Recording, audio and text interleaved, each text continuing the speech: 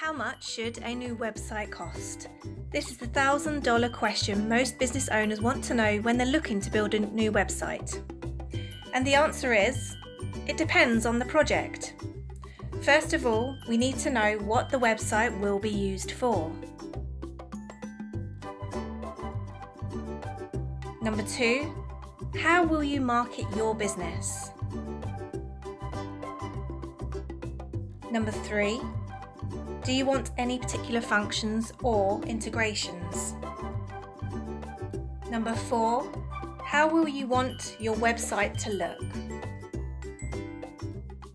Five, where will the content come from? Will you be supplying it or do you need us to help you with that too?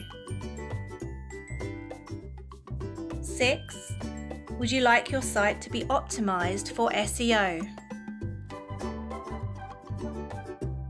7. Would you like us to host your website and maintain it for you? So there you have it. Your website deserves expertise.